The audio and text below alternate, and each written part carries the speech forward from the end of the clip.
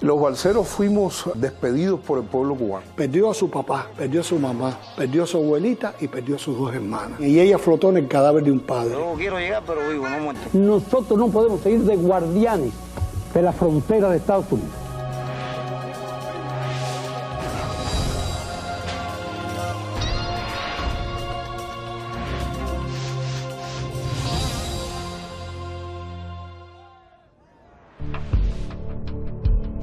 Arriesgando lo único que tenían, sus vidas, gentes de pueblo abordan el 13 de julio de 1994 el remolcador 13 de marzo y escapan de la isla.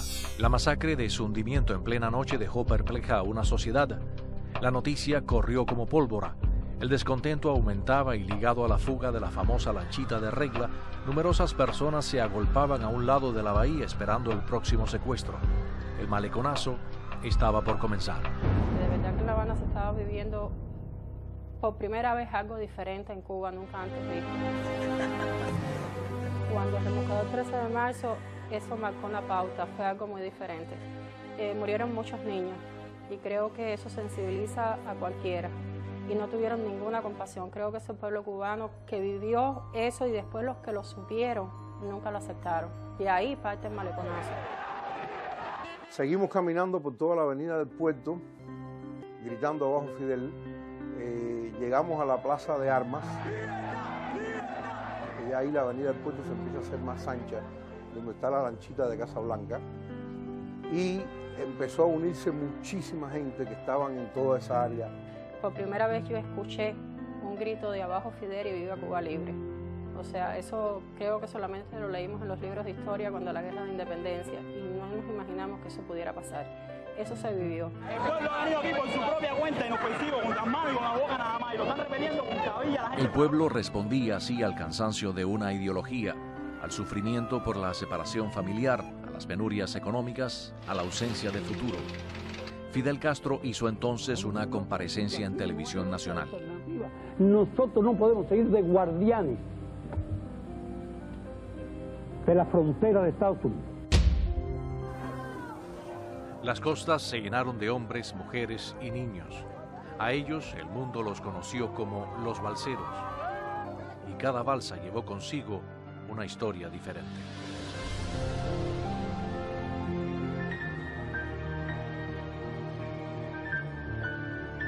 Ese día no fue tan malo, el amanecer de cuánto día fue cuando pensamos que, ¿sabes? Nos agarrábamos entre todos y, y pensábamos cómo serían la, la noticia para nuestros familiares en Cuba de nunca más vernos, porque la verdad no pensábamos que nos íbamos a salvar. Mm, Rezamos, oramos, los que hacían de otra manera y casi que nos despedimos entre nosotros, llorábamos, pero afortunadamente no fue así.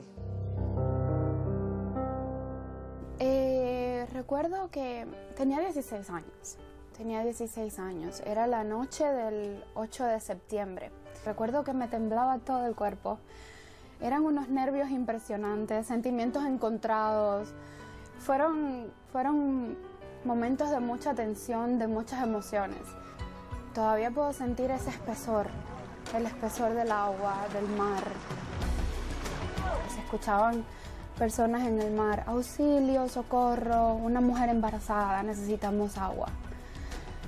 Y escuchar eso en el medio de aquel silencio aterraba, aterraba porque ¿qué vas a hacer? En ese momento es o protegerte tú o buscar en el medio de la oscuridad, en el medio de la nada, a dónde vas a ir, a dónde te vas a dirigir.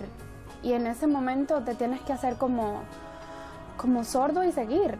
No, no te queda de otra, no te queda de otra. Y, y eso fue un momento que, que me impactó y, y son palabras que nunca voy a olvidar. Siempre, siempre están conmigo eh, ese momento de auxilio, socorro, hay una mujer embarazada, necesitamos agua. Mi familia tiene una experiencia muy interesante.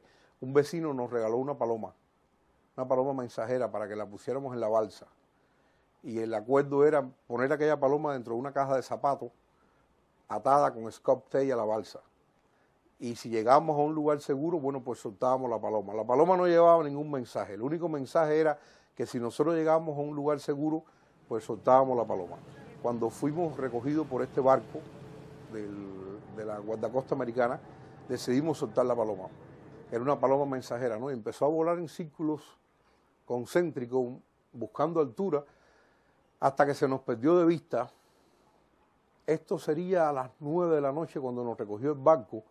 La paloma llegó a La Palama, a La Habana, a las 11 de la noche.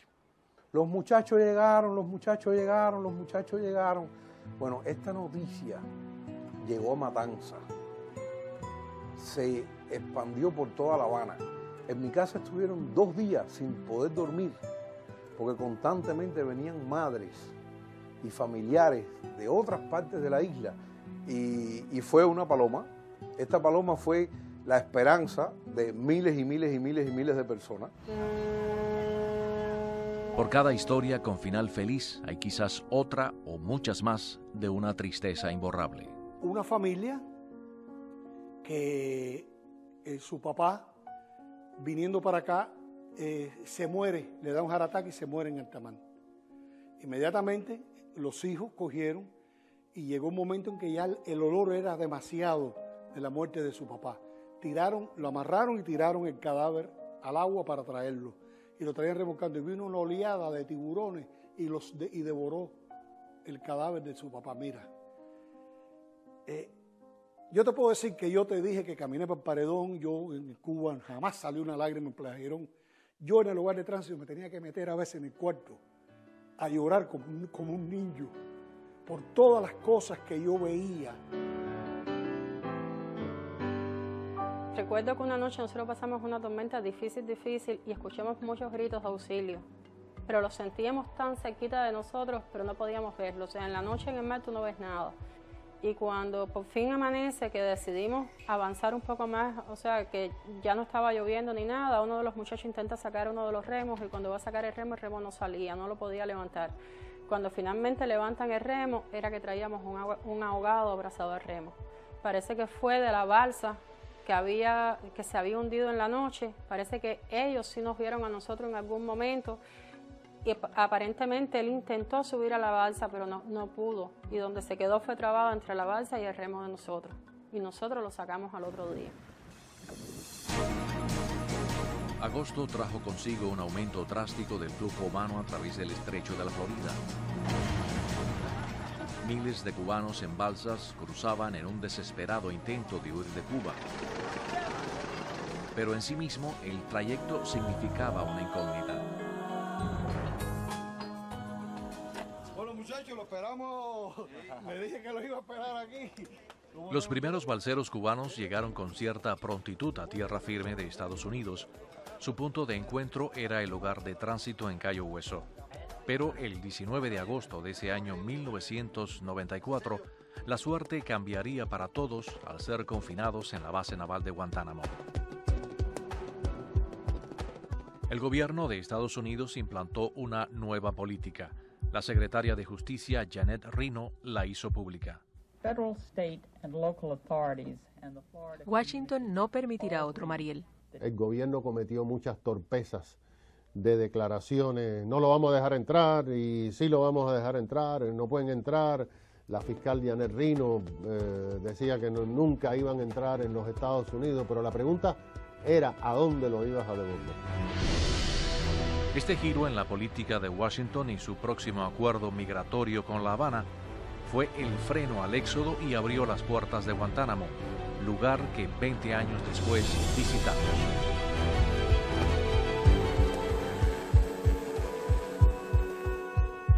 Estamos en la base naval de Guantánamo, precisamente el punto donde hace 20 años atrás le cambió el destino a decenas de miles de refugiados cubanos que salieron huyendo en balsa de la isla.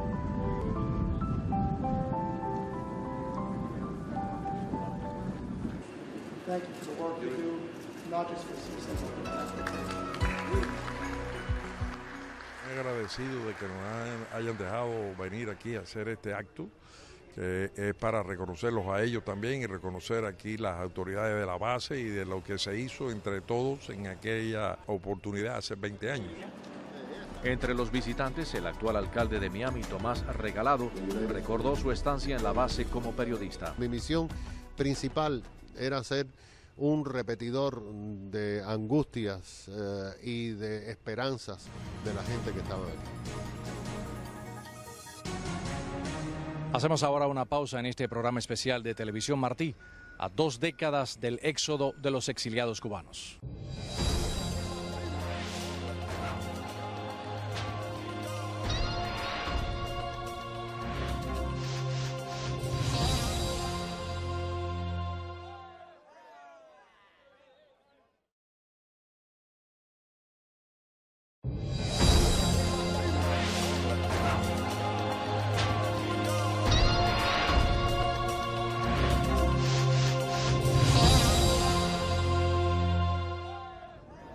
A pesar de que se difunde la noticia de que no entrarán en Estados Unidos, durante gran parte del mes de agosto de 1994, muchos balseros siguieron abandonando la isla. En este programa abundamos sobre el papel que jugaron el hogar de tránsito, Hermanos al Rescate y la base naval de Guantánamo como centro de refugiados. Siempre veías el mapa y cuando se hacía el mapa decían, bueno, en este punto debe estar Hermanos al Rescate, bueno, en este punto deben estar los guardacostas americanos esperándonos. O sea, ya desde que tú sales de Cuba salías con la esperanza de que había alguien esperando por ti ahí.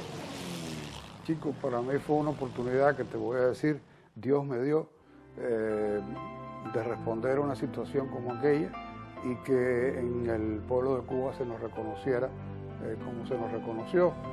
Son 10 personas, hay un niño. Por la intención que teníamos, que era salvar la vida de aquellas personas que querían la libertad y que la iban a buscar en Estados Unidos.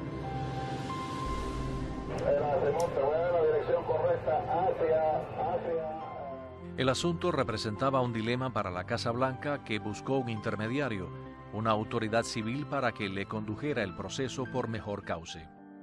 Lo primero que vi al llegar a los campamentos fue eh, miles de personas detrás de una alambrada, eh, mujeres eh, con niños en los brazos pequeños, bebitos, personas mayores, todo el mundo pidiendo agua, pidiendo salir de allí fue un espectáculo muy triste que me llevó a pensar eh, qué daño le ha hecho Fidel Castro al pueblo de Cuba. Los momentos más traumáticos fueron la urgencia de aquellos que llegaban allí de comunicarse con sus familiares. Mi familia, por ejemplo, en estos momentos no sabe nada de La preocupación que ellos tenían que sus familiares aquí en Estados Unidos supieran que estaban vivos. No teníamos los teléfonos, no tenía forma de comunicarme. Imagínate tanto tiempo sin saber si soy vivo o muerta, soy hija única, yo así estarán ellos. Cuando esa noche llegué a trabajar y me pusieron la llamada. Entonces cuando yo cojo el teléfono le digo, papi, estoy bien. Me dice, esto es una broma de más gusto. Y me cuelga el teléfono.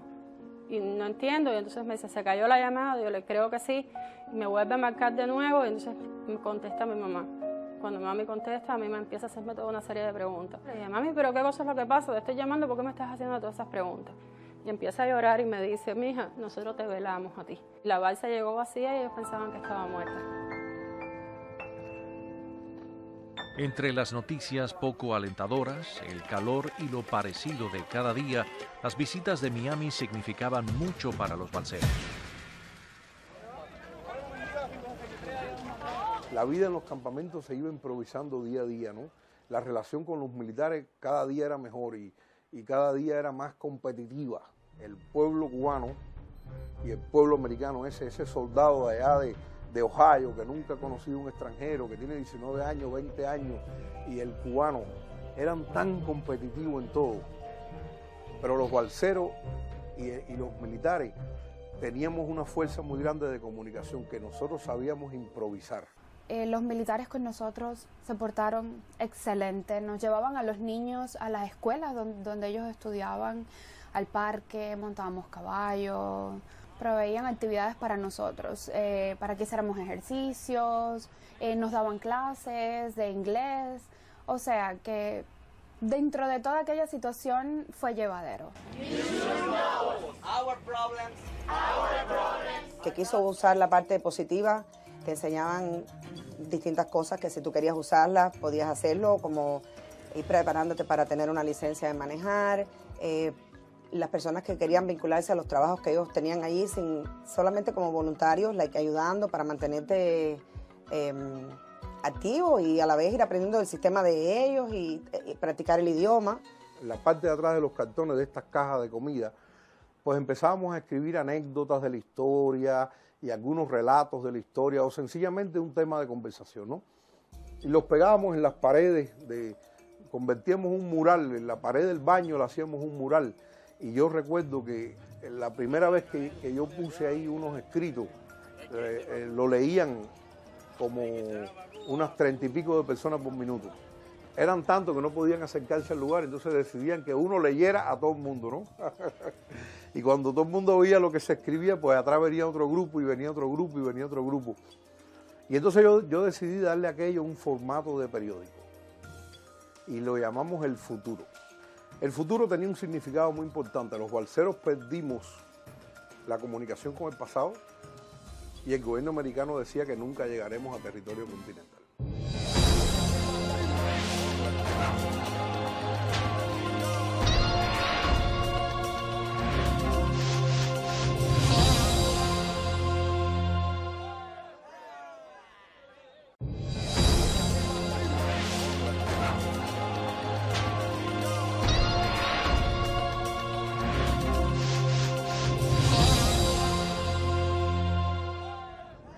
Nosotros siempre nos mantuvimos firmes de que o íbamos a Estados Unidos o no nos íbamos a ningún otro país, porque se manejaba la opción de llevarnos a Panamá.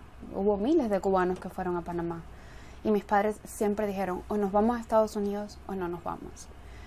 Eh, toda esa incertidumbre de cuándo íbamos a salir del país eh, fue lo más difícil. El resto se iba pasando porque siempre estaba la ilusión de que este es el pasaporte para salir de Cuba. Precisamente la salida la buscamos nosotros con la idea de darle, eh, de darle parol humanitario a la gente. Lo primero que nosotros consideramos que había que salir eran los muchachos y buscamos psiquiatras infantiles y demás eh, para que hicieran un trabajo y decir por qué no podían estar ahí, punto, por qué no podían estar ahí. Y eso facilitó a, la, a las autoridades americanas el poder abrir la puerta. La adaptación y asesoramiento fue parte del plan para comenzar una nueva vida en Estados Unidos. Nos dividíamos en grupos de cuatro personas. Había una persona que le hablaba de la vida en los Estados Unidos, había una persona que le hablaba de trabajo, de cómo pedir un trabajo, de cómo hacer un resumen, eh, del seguro social, de los impuestos. Eh, había una, en, en todos los grupos, éramos cuatro en cada grupo, había un policía eh, policías del condado, policías de la ciudad de Miami, que entonces le hablaban de las leyes, del cumplimiento de las leyes, de la licencia para manejar. Y había también, la cuarta persona era un abogado de inmigración. Los balseros fuimos eh, despedidos por el pueblo cubano.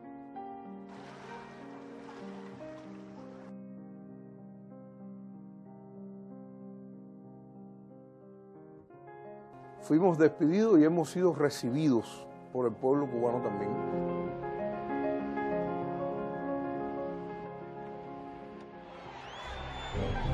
La epopeya de los balseros involucró a toda una comunidad que hizo suyo el dolor de los cubanos.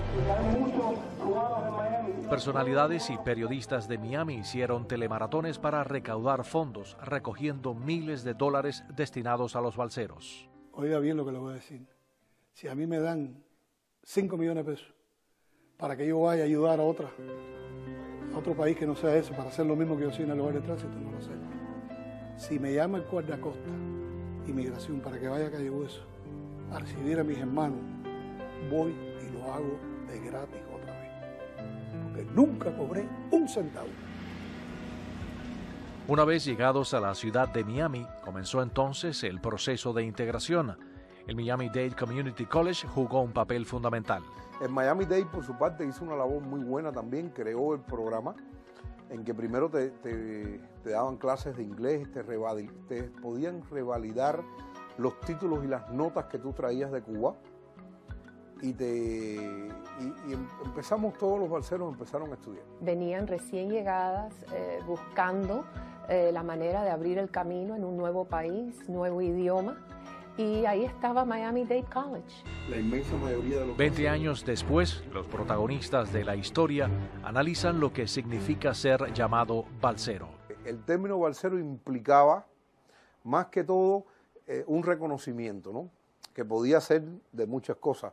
Eh, bueno, el desconocimiento a cómo funcionaban las cosas en Miami y si tú cometías algún tipo de imprudencia porque te decían, oye, balsero, eres un balsero, pero, pero esto nunca fue despectivo. Los balseros no, no somos cualquier cosa.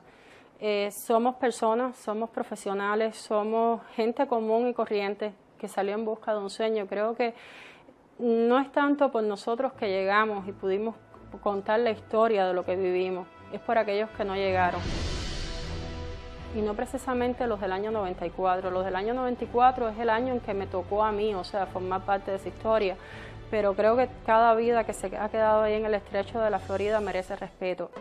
Mi caso particular es muy, muy orgullosa de ser balsera. Cuando se tienen buenos éxitos, yo creo que yo lo, lo, veo como orgullo. En mi caso particular ha sido un orgullo. Conozco muchas personas, tengo muy buenas amistades, como si fueran mi familia de 20 años, mi, familia que no lleva sangre y, que somos balseros y todos han tenido logros muy, muy satisfactorios. Esa es una experiencia que me marcó, pero me marcó para bien. Porque cuando tú persigues tus sueños, cuando tú quieres alcanzar tus metas, no importa las circunstancias que se presenten en ese momento, tú coges fuerza de eso para salir adelante. Y eso fue la base para nosotros. Una experiencia difícil, dura. Eh, no fueron meses placenteros. Estábamos en carpas, pasamos una tormenta tropical que levantó la carpa entera, eh, pasamos una revuelta, eh, comíamos todos los días lo mismo pero todo valió la pena, porque era el camino para lograr lo que por tantos años luchamos. Siempre le doy gracias a mis padres porque hicieron lo correcto.